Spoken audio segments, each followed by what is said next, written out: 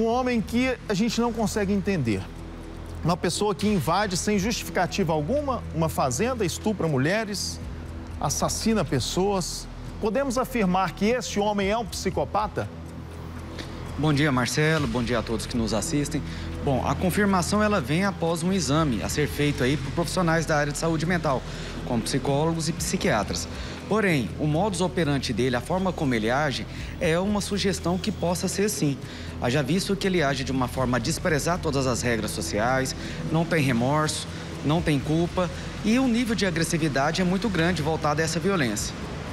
Este homem ele não é considerado ainda um serial killer, né, Leonardo? Qual que é a diferença? Vamos explicar para o nosso telespectador, porque o serial killer, aquele assassino em série, é, o que é o serial killer e, e qual é a, a nomenclatura que a gente pode usar para um criminoso como esse?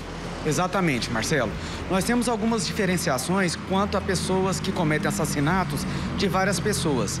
O serial killer, ele mata duas ou mais pessoas em tempos diferentes, algo que nós chamamos de resfriamento emocional. Ele mata uma pessoa hoje e depois de dias ou meses ele volta a matar novamente. A diferença quanto ao modus operandi do, do Lázaro é que ele mata de uma forma sequenciada, ele mata várias pessoas em um curto espaço de tempo, não algo que nós chamamos de resfriamento emocional.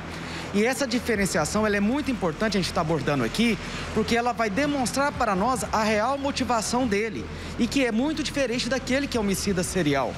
Ou seja, os spring killers, que é a característica dessas pessoas que matam várias pessoas em um mesmo local, né, fazendo um deslocamento, né, mata num local, depois vai para outro e vai matando de uma forma continuada, eles têm um nível de impulsividade e agressividade muito maior que o homicida serial. E geralmente não planejam seus crimes quanto ao tipo de vítima, são aquelas que cruzam o próprio caminho.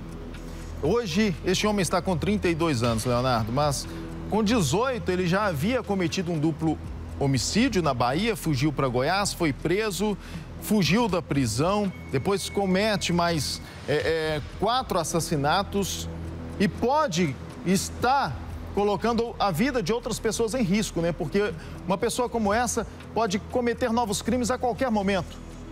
Exatamente, Marcelo. É importante a gente abordar aqui que uma pessoa que comete crime da forma como o Lázaro está cometendo, geralmente só para quando a polícia consegue prender ou quando a polícia consegue, nesse caso, né, uh, fazer uma abordagem, ele reagir e ser por legítima defesa. Então, ele não vai parar ele não vai parar de uh, cometer esses assassinatos. Uh, e isso eu estou afirmando baseado em todo o histórico, em todas as teorias, em todas as pesquisas que nós temos com pessoas que cometem crimes tendo esse tipo de comportamento.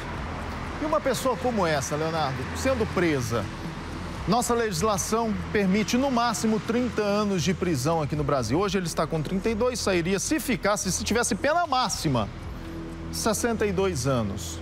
62 anos a pessoa é, ainda tem, tem disposição, enfim.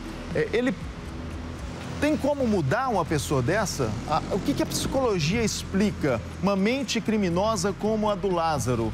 Vamos imaginar aí que ele fique 20 anos preso, com 52, 55 anos, está nas ruas novamente. É possível mudar uma pessoa como essa? Bom, Marcelo, o que nós temos de pesquisa no momento é que pessoas com essas características, né, elas têm muito poucas mudanças frente a terapêuticas utilizadas. Então, de várias pessoas já cometeram assassinato tendo essa característica, mesmo utilizando a psicologia, as técnicas psicoterapêuticas, a possibilidade de mudança é muito pouco porque não depende do tratamento, e sim depende dele. A questão é, será que ele quer mudar? E pelo histórico criminal dele, pela vida pregressa dele, a gente vê que há uma reincidência costumaz. Então, nesse caso, dependeria mais dele do que que das próprias técnicas em fazer efeito. E tudo que nós temos até hoje dentro da psicologia mostra que as respostas frente a tratamento com pessoas com essas características são muito poucas. Ô, Leonardo, a gente mostrou, vem mostrando, inclusive, que o, o, o Lázaro, ele participa, enfim, ele tem alguns rituais satânicos, uma foto, inclusive, com, com a nomenclatura satã, enfim.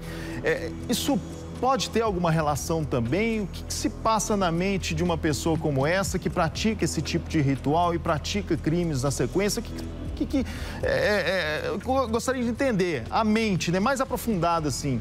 O que, que a psicologia explica com relação à mente de um criminoso como esse? Bom, nesse caso, quando uma pessoa ela acaba tendo né, uma vocação, uma espiritualidade né, voltada aí para questões que envolvem rituais de magia negra, o que a gente verifica é a questão da crença, né?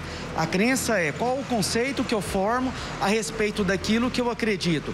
Então, se associar ao mal é se identificar ao mal.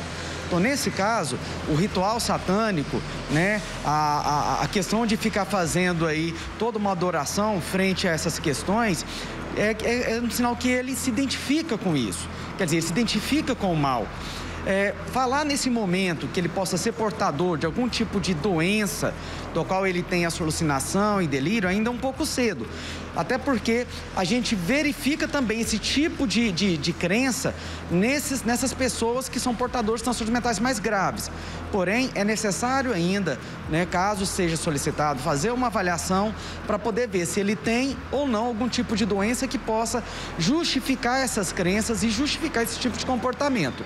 Mas, em geral, é uma questão de, de ordem é, pessoal e de identificação.